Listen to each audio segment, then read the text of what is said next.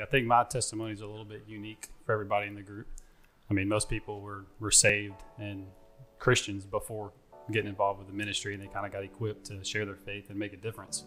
For me, I think my story is a is an example of why S2S needs to exist because I was one that was led to Christ through the biblical teaching that mm. we we practice here at S2S and we use to equip others.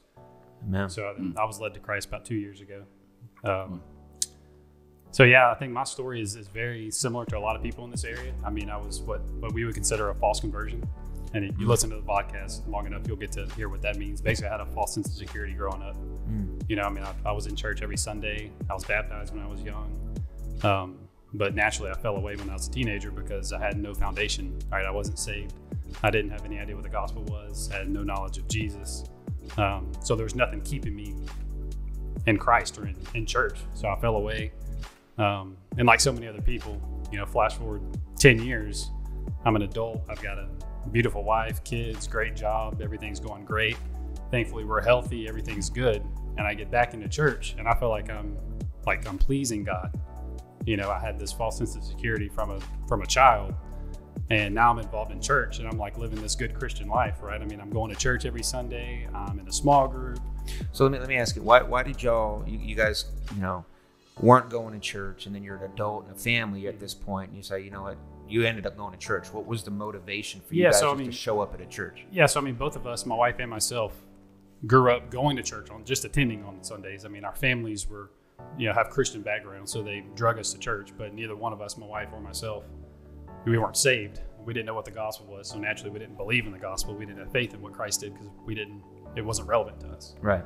Um, and then just having kids, I think that was a, a draw for us. We wanted to have our kids involved in church like we were.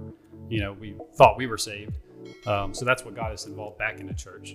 Gotcha. Um, we had some life events that, that drew us to church, and you know, we got there and spent you know two or three years, you know, trying to live a good Christian life. Ultimately, is what we were doing. I mean, we thought we were pleasing God by attending church. I mean, I was a usher, Mhm. right? I mean, I was I was actually doing more than probably ninety percent of the people in church. So I'm like, man, God's got to be happy with me, right? I mean, I'm even singing like in worship, like words are coming out of my mouth, you know, doing something that's uncomfortable for me. Uh, Um, yeah, so uh, my life was great. I was happy. And then you actually ruined it all for me. wow. Yeah, yeah, you, you Yeah. it. So um, just one Saturday morning, you took me out to coffee and just just asked to hear my testimony. I mean, we didn't, we didn't really know each other that well at the time, but I'm pretty sure like two minutes in, you knew that I was a false conversion. I mean, my story was just totally void of Christ, void of you know His blood atonement, His substitution for us, no godly remorse or sorrow, no sin, anything like that. And you basically just kind of showed me the S2S teachings, you know, showed me the YouTube channel, um, shared the gospel very lightly, knowing that I was going to go look into it. Man, I spent like that whole day. I remember I probably watched 20, 25 YouTube videos of just the biblical gospel over and over again, just witness encounters. Mm. And just hearing the full gospel for the first time, like the full, well articulated biblical gospel, the way it's supposed to be, to me, it was the first time that sin was made relevant to me. Wow. Like I never understood that God had a standard.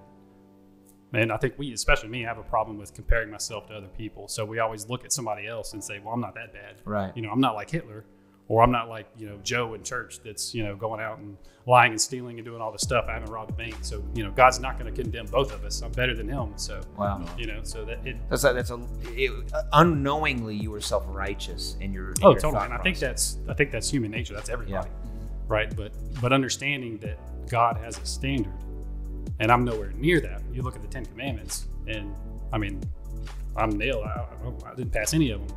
Right. And the hardest thing for me was it was about a two week period of kind of deconstructing and wrestling with this because I always thought that you know I was in God's favor, like God God's happy with me, but I stood condemned and I deserved it Mm. and that's the hardest thing to, to kind of get through. And um, yeah, it was a couple weeks where I was wrestling with it, and then ultimately, um, you see how bad you are, but then you see the goodness of God. You know, Romans two, Paul says it's the goodness of God that leads people to repentance, Mm. and understanding that even though I'm, you know, stained with sin, that God still loves me, and He demonstrated it two thousand years ago, and I've just been too blind to even recognize it. Yeah. You know. Yeah. Um, so I ended up putting my faith in the gospel over the. There was a specific night where I remember I was like, "Man, this I'm foolish not to that is my only hope.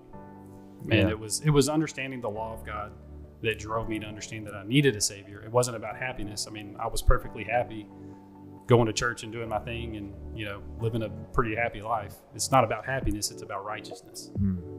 And so that's what's changed for me. My the quality of my life is no different. I'm still happy, but I've got joy knowing that my salvation is not dependent upon what I do, it's depending on what Christ already did. Yes. You know, we have an advocate. What more could we want? You know, he, he appeased the wrath of God in our place, Yes. and he's advocating for us right now.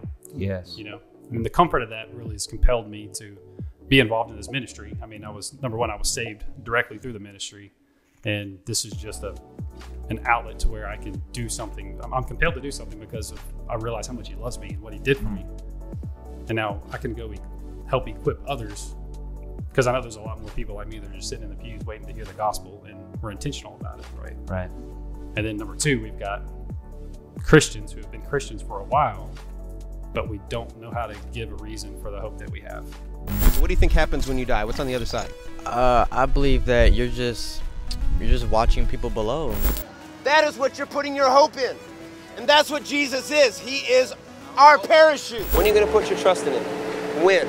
Now, S2S.TV, Seek to Save Ministries, the function number one is to reach the lost. That's our function. We're going to do it.